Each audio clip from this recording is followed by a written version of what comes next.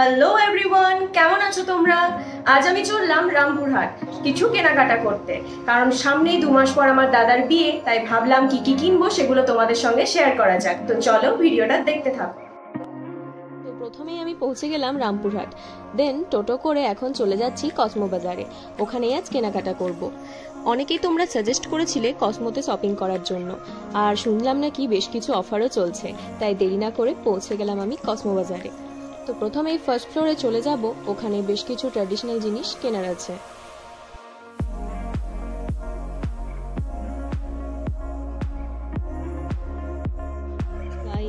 এই যে লেহেঙ্গাটা, এটা আমি বুক রেখে যাব। চার পাঁচ বছর পর যখন বিয়ে করব, তখন ফুল পেমেন্টে নিয়ে যাব। কি সুন্দর দেখতে। যাই হোক, আমি দিদিকে বললাম যে রিসেপশনে পড়ার জন্য একটু সুন্দর দেখে লেহেঙ্গা দেখাতে। মানে দাদার রিসেপশনের কথা বলছি আর কি। এই যে, এই লেহেঙ্গাটা প্রথমে দেখেই আমার খুবই পছন্দ হয়ে যায়। তো এটাকেই নেব বলে সিলেক্ট করি। আরও অপশন ছিল ওখানে, কিন্তু আমি এটাতেই বেশি সন্তুষ্ট, তাই এটাই নিলাম। আমি বলব, লেহেঙ্গা কিনতে হলে কসমোতে এসো অফারও ভালো পেয়ে যাবে। আমাকে বারবার করে বারণ করা হয়েছিল যে ভিডিও না বানানোর জন্য। বাট আমি শুনিনি যে যাই বলুক না কেন, আমার তো গায়ে লাগবে না, কারণ আমি বেহায়া। আর এটুকু তো তোমাদের জন্য আমি করতেই পারি, তাই না? এমনিতেই বিয়ের সিজন চলছে, তোমরা চাইলেই কিনতে পারো। বেশ কিছু শাড়ি দেখতে লাগলাম, এক এক করে এখানে কালেকশনগুলো এত ভালো আর এত কম দামে দিচ্ছে যে আমি বুঝতেই পারছি না কোনটা ছেড়ে কোনটা নেব। মায়ের জন্য এটা পছন্দ হলো খুবই, তাই এটাই আমি নিয়ে নিলাম। সত্যি বলতে অনেকেই আছে যারা বেশি দামে বিশ্বাসী মানে দাম বেশি হলেই প্রোডাক্ট ভালো তাদের কাছে। কিন্তু এমনটা কখনোই নয় প্রোডাক্টের কোয়ালিটিটা বেশি ম্যাটার করছে এখানে। আর এই শাড়িটা আমি নিলাম আমার দিদির জন্য। মানে দিদি বলতে আমার নিজের তো দিদি নেই, আমার মামার মেয়ের জন্য নিলাম। দুটো শাড়ি হলদির জন্য। আমারটা আমি অনেক আগেই কিনে নিয়েছি। একদিন অল টোটাল বিয়ের শপিং তোমাদের সঙ্গে আমি শেয়ার করে দেবো। ব্ল্যাক শাড়িটা না আমার ভীষণ পছন্দ হয়েছিল। কিন্তু কখনই বা পরবো সেই ভেবে আর নিলাম না। অনেকেই বলছে, দাদার বিয়ে পাঁচ ছটা ড্রেস নিবি। বাট আমি মনে করি আমার যেটুকু দরকার আমি সেটাই কিনবো। এক্সট্রা ইনভেস্টমেন্ট আমি মোটেও পছন্দ করি না। তাতে সে যে যা বলবে বলুক। ভাবলাম সারারা কিনবো। কিন্তু সেরকম কালেকশন ছিল না, আর অন্য কোথাও যাওয়ারও আমার ইচ্ছে ছিল না। আসলে একটু ল্যাদ করতো কোথাও যেতে ইচ্ছে করে না। যেখানে একবার যাব, সেখানেই সব কিনে নেব। তাই ডিসিশন চেঞ্জ করে আমি গাউন নিলাম। এই গাউনটা খুবই মিষ্টি কালারটা আমার তো ভীষণ পছন্দ হয়েছে এটা। আর তোমরাও জানিও তোমাদেরও কেমন লাগছে।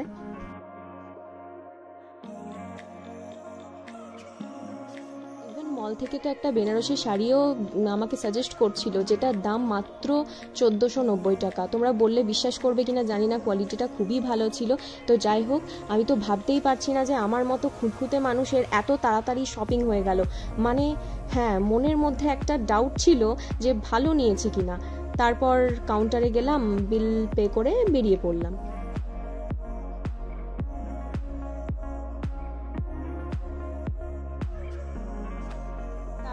এলাম খাদিমসে জুতো কিনতে। এত জুতো দেখে আমার মাইন্ডটাতে জাস্ট পুরো ঝাঁকানাকা হয়ে গেছে। দিয়ে এক এক করে জুতো ট্রাই করতে লাগলাম। সাইজটা তো বলতেই হলো না, ওরা এক্সপিরিয়েন্সড আমার ছোট পা দেখে ওরা বুঝেই নিয়েছে আমার কত সাইজ হবে। এই যে, এটা আমি নিলাম, যেটা আমাকে মা আর মাসি পছন্দ করে দিল। তারপর এখানেও আমি বিল পে করলাম, দিয়ে বেরোলাম। ভাবছ তো? আবার কেন কসমোতে ফিরে এলাম? এই একা একা শপিং করার এই ঝামেলা। কি নেব, না নেব কিছু বুঝতেই পারি না, বিশেষ করে তো মেয়েদের। মনে হলো একটা জিন্স নিয়ে আমি। তাই এখানে আবার চলে এলাম, দিয়ে জিন্স দেখতে লাগলাম। এই যে, এই জিন্সটা আমি নিলাম, আর তার সাথে এই টপটা নিলাম। এই ল্যাভেন্ডার কালারটা তো আমার ভীষণ পছন্দের একটা কালার। সবগুলোকে উঠিয়ে নিয়ে গেলাম এখন।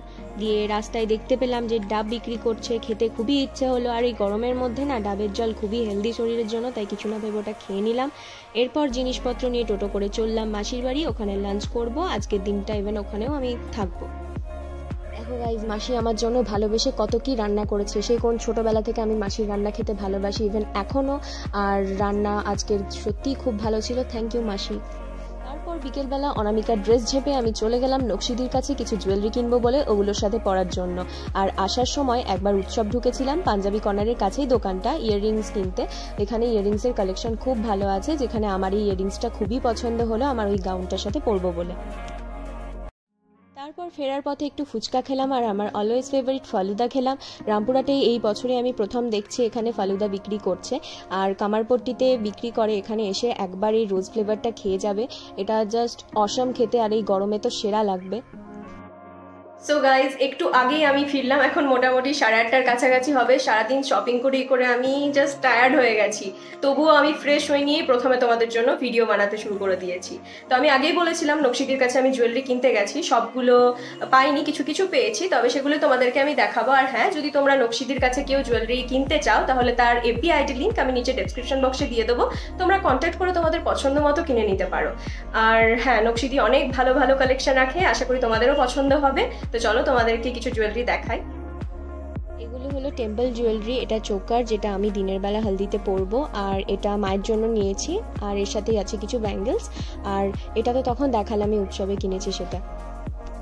সো গাইজ আজকে আমি যা যা কিনলাম তোমাদের কেমন লেগেছে তোমরা অবশ্যই জানিও আর ভিডিওটা ভালো লাগলে লাইক কমেন্ট আর শেয়ার করে দিও আর চ্যানেলে নতুন হলে চ্যানেলটা সাবস্ক্রাইব করে দিও আর পাশে থাকা বেল আইকনটা প্রেস করে দিও যাতে আমি যখন যখন ভিডিও দিই তোমরা সাথে সাথে নোটিফিকেশন পেয়ে যাও। আর আর হচ্ছে ফেসবুক আর ইনস্টাতে ফলো করতে পারো। আমি আইডি লিঙ্ক নিচে ডেসক্রিপশন বক্সে দিয়ে দেবো। চলো দেখা হচ্ছে আবার নেক্সট ভিডিওতে সবাই খুব খুব খুব ভালো থেকো। টাটা।